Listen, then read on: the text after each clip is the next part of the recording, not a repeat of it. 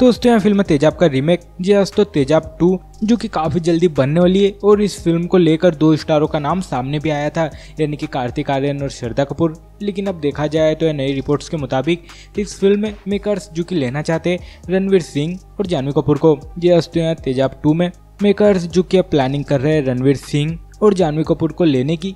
और जैसे कि कहा जा रहा है कि यहाँ फ़िल्म के प्रोड्यूसर यानी कि मुराद खेतानी, जो कि इस फ़िल्म को पहले तो कार्तिक और श्रद्धा को लेकर बनाने की प्लानिंग कर रहे थे, लेकिन अब यहाँ कुछ कारणों से यहाँ पर रणवीर सिंह और जानवी कपूर को इस फ़िल्म में वो लाना चाहते हैं। और यहाँ इसके लिए दोनों स्टारों से बात भी की गई है। जैसे में देखा जाए तो यहाँ कार्तिक श्रद्धा तो इस फ़िल्म के लिए फ़र्स्ट चॉइस थे, लेकिन जैसे कि अब ये नई जोड़ी जो कि सामने आती हुई दिख रही है, हालाँकि उस तो यहाँ तेजाब टू, जिस पर काफ़ी लंबे समय से काम किया जा रहा है, और जैसे कि अब यहाँ फाइनली इस फ़िल्म की अनाउंसमेंट भी काफ़ी जल्दी हो सकती है। और इसमें इस फ़िल्म के लिए अभी सबसे आगे नाम दिख रहा है रणवीर सिंह और जानवी कपूर का। और इसमें देखा जाए तो ये दोनों ही स्टार जो कि एक साथ आते हैं तो ये काफ़ी इंटरेस्टिंग रहेगा। और जैसे कि ये एकदम एक धमाकेदार जोड़ी रहेगी।